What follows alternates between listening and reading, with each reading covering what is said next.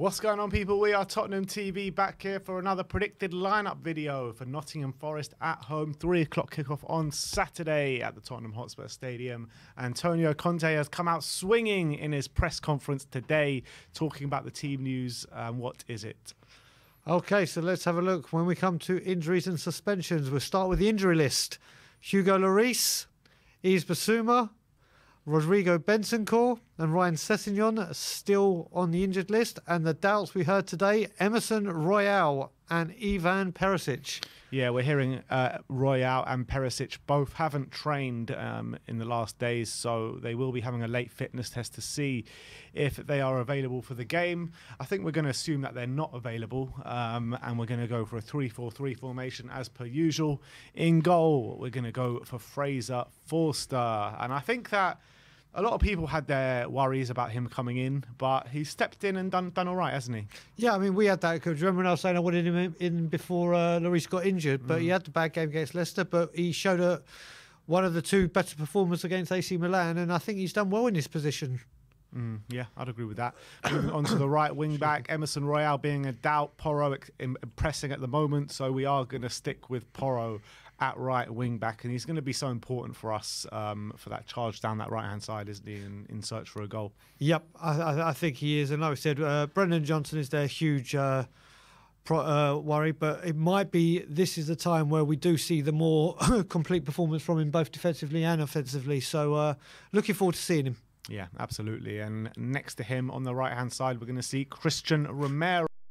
Obviously, got sent off in the pivotal game against AC Milan. But I, I think it's been no um, kind of surprise that the good performance we've seen from Porro has been with Romero next to him. Yep, and uh, I'm ready to start Romero uh, Romero yellow card bingo again. So we'll see. Um, yeah, he he owes a, he he needs to put in a good performance after what we saw on Wednesday. And like you said, uh, you've you've been saying it a while now that we need to see Porro next to Romero, and he has looked brighter doing that. So let's hope that continues. Absolutely. Um, in the centre of the back three, we're going to go for Eric Dier, a return to the team as he's been out of the team for the last two games, and we haven't scored and lost both games.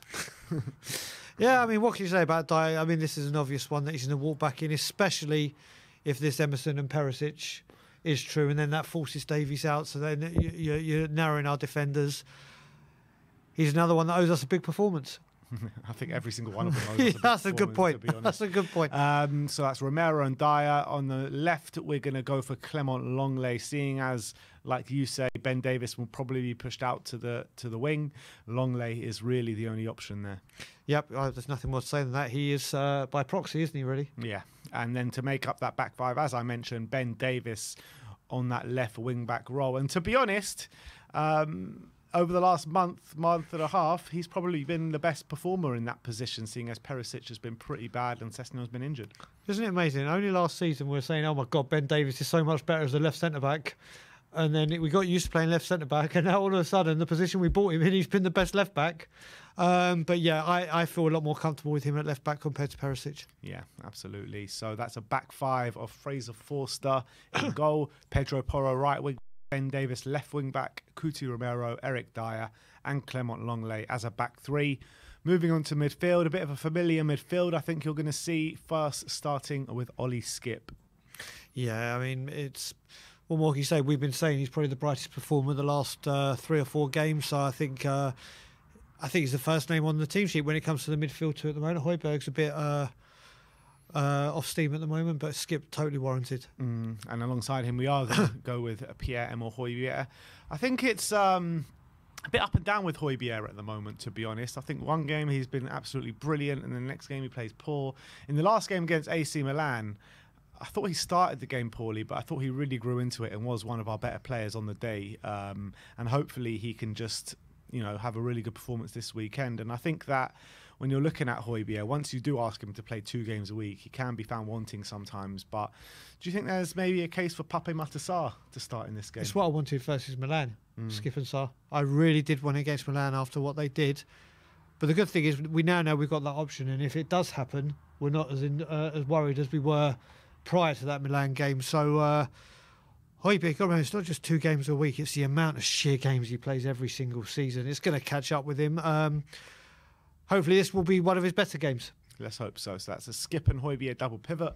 On the right hand side of the attack, we're going to look at Dejan Kulusevski, and he needs to have a big performance tomorrow. Yeah, there's nothing more to be said about that. He he desperately needs to find uh, the form from before the World Cup. Yeah, so Kulusevski on the right. On the left, we're going to go with Heung-Min Son after the remarks from Conte today and from Ivan, uh, not from Richarlison after the game, it kind of feels like he will be out the team, and uh, that leaves a clean way for Sonny unless Danjuma comes in, which we highly doubt. we very highly doubt. Um, yeah, I think this is again by default because of Richarlison's actions and speaking. So yeah, it, it's going to be Sonny. Mm, and then up top is obviously going to be the main man, Harry Kane. And um, look, Harry Kane, after that Man City game when he broke the record, he scored one goal since then against Chelsea. Hasn't. Um, it's probably his slowest period of the season, isn't it? Yeah, well, well, let's face it. We all wanted variety in the top uh, top part, and guess what we got? Normality. um, but yes, uh, again, like you said, he got the goal. He's been, he had been adding before that some brilliant passes and getting involved in the game, but that seems to have dried up apart from that goal against Chelsea. So that fr- that that front three need big performances today, tomorrow. Yeah, absolutely. So let's run through that lineup with you guys one more time. In goal, can be Fraser Forster, right wing back Pedro Porro, right centre back Cuti Romero, central centre back Eric Dier, left centre back Clement Lenglet, left wing back Ben Davies, right sided centre midfielder Ollie Skipp. On the left, we're going to see Pierre Emile Højbjerg. Right, number 10, Dejan Kulusevski. Left sided, number 10, Heung-Min and then up front is going to be Harry Kane. If that is the the lineup and the formation, what scoreline are you going for? One one. One one. Yeah, fair enough. I'm there's not a good feeling about Spurs at the moment, but I feel like we can just about get over the line against a Nottingham Forest team who've been poor away from home all season. So I'm gonna go for Spurs just to get over the line, and I think Harry Kane will get the goal. Brian's going one one. Who's gonna score it for us? Ah. Let's go Kulusevski. Kulusevski back in the goals. I love it. So uh, let me know your score predictions. Let me know your predicted lineup. And uh, come and see us on the watch along this weekend. It will be me and Brian here in the indeed. studio from quarter to three on Saturday. So come and uh, join it and join with us and um, get three points up the Spurs. Like, subscribe, and comment. And as always, come on, you Spurs?